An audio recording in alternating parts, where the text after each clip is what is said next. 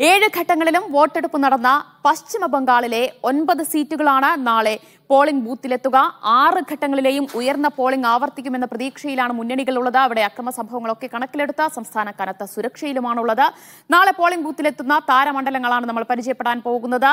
നാൽപ്പത്തിരണ്ട് സീറ്റുകളിൽ ഏഴ് ഘട്ടങ്ങൾ നാളെ ഏഴ് മണ്ഡലങ്ങൾ നാളെ ജനവിധി എഴുതും അതിൽ ശ്രദ്ധേയ മണ്ഡലങ്ങൾ നോക്കിയാൽ അതിൽ ആദ്യത്തേത് ഡയമണ്ട് ഹാർബറാണ്. അവിടെ അഭിഷേക് ബാനർജിയാണ് തൃണമൂൽ കോൺഗ്രസ് സ്ഥാനാർത്ഥിയായി എത്തുന്നത്. അവിടെ തൃണമൂൽ കോൺഗ്രസ് സി പോരാട്ടമാണ് മണ്ഡലത്തിൽ നടക്കുന്നത്. സിറ്റിംഗ് എം പിയാണ് അഭിഷേക് ബാനർജി. അതോടൊപ്പം മമതാ ബാനർജിയുടെ സഹോദരപുത്രൻ കൂടിയാണ് അഭിഷേക് ബാനർജി. അവിടെ സി പി എം സ്ഥാനാർത്ഥിയായി പ്രതീക് റഹ്മാനാണ് എത്തുന്നത്. എസ് എഫ് ഐയുടെ ദേശീയ വൈസ് പ്രസിഡന്റാണ് പ്രതീക് റഹ്മാൻ ഇനി അടുത്ത ശക്തമായ പോരാട്ടം നടക്കുന്ന പശ്ചിമ ബംഗാളിലെ മറ്റൊരു മണ്ഡലമാണ് ജാദവ്പൂർ. ജാദവ്പൂരിൽ തൃണമൂൽ കോൺഗ്രസ് സ്ഥാനാർത്ഥിയായ സയോനി ഘോഷാണ് എത്തുന്നത്. സയോനി ഘോഷ് അവിടുത്തെ പ്രശസ്ത നടി കൂടിയാണ്. അതോടൊപ്പം തൃണമൂൽ യൂത്ത് കോൺഗ്രസ് പ്രസിഡന്റ് കൂടിയാണ് സയോനി ഘോഷ്. അവിടെ സി പി എം സ്ഥാനാർത്ഥിയായി ശ്രീജൻ ഭട്ടാചാര്യയാണ് കളത്തിലുള്ളത്. ശ്രീജൻ ഭട്ടാചാര്യ എസ് എഫ് ഐയുടെ സംസ്ഥാന സെക്രട്ടറിയാണ്. ഈ രണ്ട് മണ്ഡലങ്ങളാണ് നാളെ പശ്ചിമ ബംഗാളിൽ വോട്ടെടുപ്പ് നടക്കുന്ന ശ്രദ്ധേയമായ മണ്ഡലങ്ങൾ. ഇനി അടുത്തത് ചണ്ഡീഗഡിലേക്കാണ്. ചണ്ഡീഗഡിൽ കേന്ദ്രഭരണ പ്രദേശമായ ചണ്ഡീഗഡിൽ നാളെ വോട്ടെടുപ്പ് നടക്കുന്നു. നടിയും ബി ജെ പിയുടെ സിറ്റിംഗ് എം പിയുമായ കിരൺ ഖേറിനെ മാറ്റി പുതുമുഖത്തോടെയാണ് ബി ജെ പി രംഗത്തിറങ്ങിയിരിക്കുന്നത്. നമുക്ക് ഇനി അവിടെയുള്ള ഒരു സാഹചര്യം ശ്രദ്ധേയ മണ്ഡലം വിശദമായി തന്നെ പരിശോധിക്കാം. ഒരു സീറ്റുണ്ട് അവിടെ ആദ്യഘട്ട വോട്ടെടുപ്പാണ് നാളെ ഏഴാം ഘട്ടത്തിൽ നടക്കുന്നത്. അതായത് അവസാന ഘട്ടത്തിൽ ആദ്യഘട്ട വോട്ടെടുപ്പ് നടക്കുന്നത് ചണ്ഡീഗഡിലാണ്. അവിടെ മനീഷ് തിവാരിയാണ് കോൺഗ്രസ് സ്ഥാനാർത്ഥിയായി. അവിടെ കളത്തിലുള്ളത് ചണ്ഡീഗഡ് മണ്ഡലത്തിൽ കളത്തിലുള്ളത്. നമുക്ക് മനീഷ് തിവാരിയെ നമുക്ക് ഏവർക്കും അറിയാം. അഭിഭാഷകനാണ് മുൻ കേന്ദ്രമന്ത്രിയാണ് മുതിർന്ന കോൺഗ്രസ് നേതാവ് കൂടിയാണ് മനീഷ് തിവാരി. അവിടെ ബി ജെ പി സ്ഥാനാർത്ഥിയായി രംഗത്തുള്ളത് സഞ്ജയ് ടണ്ടനാണ്. സിറ്റിംഗ് എം പിയും നടിയുമായ കിരൺ ഖേറിനെ മാറ്റിയാണ് അവിടെ ബി ജെ പി സഞ്ജയ് ടണ്ടനെ പരീക്ഷിക്കുന്നത്. അവിടെ മണ്ഡലം ആര് പിടിക്കും എന്നത് ആശങ്കയോടുകൂടി തന്നെ ഉറ്റുനോക്കുകയാണ്. ഇനി അടുത്തതായി നമ്മൾ പോകുന്നത് ബീഹാറിലേക്കാണ്. അവിടെ ഇന്ത്യൻ ജനാധിപത്യത്തിന്റെ രാഷ്ട്രീയ ഗതി നിർണയിക്കുന്ന സംസ്ഥാനമാണ് ബീഹാർ എന്ന് നമുക്ക് ഏവർക്കും അറിയാം. എല്ലാ ഘട്ടത്തിലും തെരഞ്ഞെടുപ്പ് നടന്ന ഒരു സംസ്ഥാനം കൂടിയാണ് ബീഹാർ. ഉത്തർപ്രദേശിന് പുറമെ ബീഹാറിലും എല്ലാ ഘട്ടങ്ങളിലും ജനവിധി രേഖപ്പെടുത്തുന്ന ഒരു സാഹചര്യമാണ് ഉണ്ടായത്. അപ്പോൾ ഇന്ത്യ മുന്നണി വലിയ പ്രതീക്ഷ വെച്ച് പുലർത്തുന്ന ഒരു സംസ്ഥാനം കൂടിയാണ് ബീഹാർ. ബീഹാറിൽ ഏഴ് ഘട്ടത്തിലും വോട്ടെടുപ്പുണ്ടായിരുന്നു. നാൽപ്പത് സീറ്റുകളാണ് അവിടെയുള്ളത് അവിടെ ഏഴാം ഘട്ടത്തിൽ എട്ട് ലോക്സഭാ മണ്ഡലങ്ങളാണ് ജനവിധി എഴുതാൻ പോകുന്നത്. ഇനി നമ്മൾ പരിശോധിക്കുന്നത് ശ്രദ്ധേയ മണ്ഡലങ്ങളാണ്.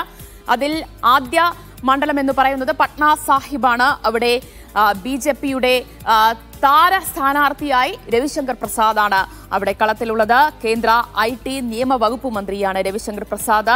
അവിടെ കോൺഗ്രസ് സ്ഥാനാർത്ഥിയായി കളത്തിലുള്ളത് അൻഷുൽ അഭിജിത്താണ്.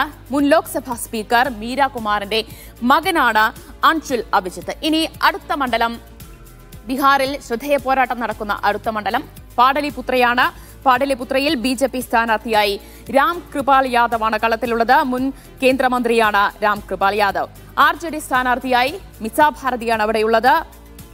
ലാൽ പ്രസാദ് യാദവിന്റെ മകളാണ് മിസാ ഭാരതി. നമുക്ക് ഏവർക്കും അറിയാം. അതുകൊണ്ട് തന്നെ ശക്തമായ പോരാട്ടം നടക്കുന്ന ഒരു മണ്ഡലമായി പാടലിപുത്ര അവിടെ മാറുകയാണ്. അടുത്ത ബീഹാറിലെ അടുത്ത മണ്ഡലം ശ്രദ്ധേയ മണ്ഡലം എന്ന് പറയുന്നത് കാരാക്കാട്ടാണ്. കാരാക്കാട്ടിൽ രാജാറാം കുഷാഹയാണ് സി പി എം എൽ സ്ഥാനാർത്ഥിയായി അവിടെ കളത്തിലുള്ളത്. മുൻ എം എൽ എ ആണ്. രാജാറാം കുഷാഹ. അവിടെ R L M C P M L മത്സരമാണ് കാരാക്കാട്ടിൽ നമുക്ക് കാണാൻ കഴിയുന്നത്. അവിടെ ഉപേന്ദ്ര കുഷാഹയുണ്ട്. ആർ എൽ എം സ്ഥാനാർത്ഥിയായി എൻ ഡി എ സ്ഥാനാർത്ഥിയായി ഇവിടെയുള്ളത് ഉപേന്ദ്ര കുഷാഹയാണ്. ബിൻ അവിടെ ഉപേന്ദ്ര കുഷാഹ മുൻ ബിഹാർ മന്ത്രി കൂടിയാണ്. ഇനി പവൻ സിംഗ് കൂടിയുണ്ട്. അവിടെ സ്വതന്ത്ര സ്ഥാനാർത്ഥിയായി പവൻ സിംഗ് കൂടിയുണ്ട്. ഭോജ്പുരി ഗായകനാണ് പവൻ സിംഗ്. നടനാണ്. നേരത്തെ ബി ജെ പിയിലായിരുന്നു. പക്ഷേ ബി ജെ പിയുമായി പിണങ്ങി അല്ലെങ്കിൽ പിന്നീട് ബി ജെ പിയിൽ നിന്ന് പുറത്താവുകയാണ് ഉണ്ടായത്. ഇപ്പോൾ സ്വതന്ത്രനായി മത്സരിക്കുകയാണ് പവൻ സിംഗ് കാരാക്കാട്ടിൽ.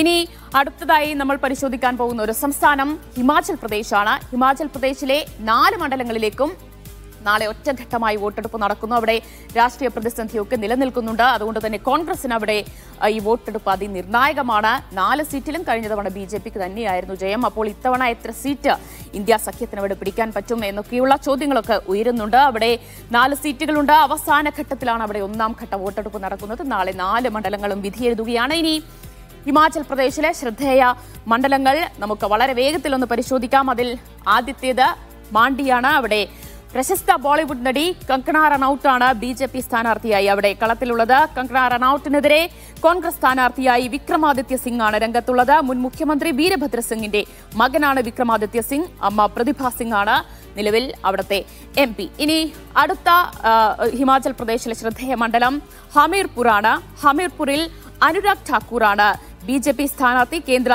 ഇൻഫർമേഷൻ ബ്രോഡ്കാസ്റ്റിംഗ് സ്പോർട്സ് മന്ത്രിയാണ്. ഹമീർപുരിലെ സിറ്റിംഗ് എം പി കൂടിയാണ്. അനുരാഗ് ഠാക്കൂർ അവിടെ എതിരാളിയായി കോൺഗ്രസ് സ്ഥാനാർത്ഥിയായി അവിടെ രംഗത്തുള്ളത് സത്പൽ റായ് സാദയാണ് മുൻ എം എൽ എ ആണ് സത്പൽ റായ് സാദ ഇനി നമ്മൾ പോകുന്നത് ജാർഖണ്ഡിലേക്കാണ്. ജാർഖണ്ഡിൽ നാളെ മൂന്ന് മണ്ഡലങ്ങളിലേക്കാണ് വോട്ടെടുപ്പ് നടക്കുന്നത്. നാല് ഘട്ടമായി സംസ്ഥാനത്ത് വോട്ടെടുപ്പ് ഉണ്ടായിരുന്നു. അപ്പോൾ മുൻ മുഖ്യമന്ത്രി ഹേമന്ത് സോറന്റെ അറസ്റ്റ് തന്നെയായിരുന്നു അവിടെ സംസ്ഥാനത്തെ പ്രധാന പ്രചാരണ വിഷയവും ചർച്ചാ വിഷയവും ഒക്കെ. അവിടെ നമുക്ക് ശ്രദ്ധേയ പോരാട്ടം നടക്കുന്ന മണ്ഡലങ്ങൾ ഒന്ന് വളരെ വേഗത്തിൽ തന്നെ പരിശോധിക്കാം. പതിനാല് ലോക്സഭാ സീറ്റുകളുണ്ട് ജാർഖണ്ഡിൽ. അവിടെ നാലാം ഘട്ടത്തിൽ മൂന്ന് ലോക്സഭാ മണ്ഡലങ്ങൾ ജനവിധി എഴുതാൻ പോകുന്നു. താരമണ്ഡലങ്ങൾ അല്ലെങ്കിൽ ശ്രദ്ധേയ മണ്ഡലങ്ങൾ അതിശക്തമായ പോരാട്ടം നടക്കുന്ന മണ്ഡലങ്ങൾ നമുക്ക് വളരെ വേഗത്തിൽ പരിശോധിക്കാം. അതിൽ ഒന്നാമത്തേത് ദുംക തന്നെയാണ്. ദുംകയിൽ സീതാ സോറനാണ് ബി ജെ പിയുടെ സ്ഥാനാർത്ഥി. ഷിബു സോറന്റെ മരുമകളാണ്. ദുർഗാ സോറന്റെ ഭാര്യയാണ്. തെരഞ്ഞെടുപ്പിന് മുൻപ് Sita Soren J M M വിട്ട് ബി ജെ പിയിൽ ചേരുകയാണ് ഉണ്ടായത്. അവിടെ ജെ എം എം സ്ഥാനാർത്ഥിയായി നളിൻ സോറനാണ് എത്തുന്നത്. മുതിർന്ന നേതാവാണ് ജെ എം എം നേതാവാണ് നളിൻ സോറൻ. അപ്പോൾ ഈ ഇപ്പോൾ പറഞ്ഞ പരിചയപ്പെടുത്തിയ മണ്ഡലങ്ങളിലൊക്കെയാണ് ശ്രദ്ധേയമായ പോരാട്ടം അതിശക്തമായ പോരാട്ടം ഏഴാം ഘട്ടത്തിൽ നടക്കാൻ പോകുന്നത്. ഈ അൻപത്തിയേഴ് മണ്ഡലങ്ങളിൽ ഒൻപതെണ്ണം മാത്രമേ കഴിഞ്ഞ ലോക്സഭാ തെരഞ്ഞെടുപ്പിൽ കോൺഗ്രസിനൊപ്പം ഉണ്ടായിരുന്നുള്ളൂ. ബാക്കിയെല്ലാം ബി ജെ പിയുടെ സെറ്റിംഗ് മണ്ഡലങ്ങളാണ്. അപ്പോൾ എത്ര കണ്ട് നേട്ടം ഇന്ത്യ സഖ്യത്തിന് ഉണ്ടാക്കാൻ കഴിയും? വലിയ തിരിച്ചുവരവ് ഇവിടങ്ങളിലൊക്കെ സാധ്യമാണോ എന്ന ചോദ്യങ്ങളുണ്ട്. അതോടൊപ്പം തന്നെ നാളെയോടുകൂടി വോട്ടെടുപ്പ് അവസാനിക്കുകയാണ് എന്നൊരു പ്രത്യേകത കൂടിയുണ്ട്. എണ്ണിപ്പറയും ഓരോ വോട്ടും. ജൂൺ നാല് മീഡിയ വണ്ണിനൊപ്പം.